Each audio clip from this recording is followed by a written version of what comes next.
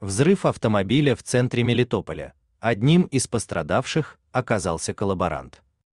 В результате взрыва автомобиля в центре Мелитополя пострадал полицейский коллаборант. Врачи решают, удастся ли предателю спасти вторую ногу. Об этом пишет РБК Украина со ссылкой на телеграм-канал мэра Мелитополя Ивана Федорова.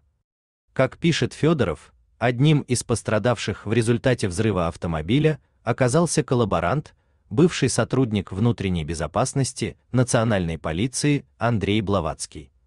После оккупации города предатель получил от россиян место начальника линейного отдела милиции. Сегодня карьерный взлет предателя также ярко закончился. По предварительным данным, от взрыва ему оторвало ногу, и сейчас стоит вопрос, останется ли другая, пишет Федоров. Напомним, РБК Украина писала о том, что сегодня в Мелитополе раздался сильный взрыв в результате подрыва автомобиля россиян. Срочные и важные сообщения о войне России против Украины читайте на канале РБК Украина в Телеграм.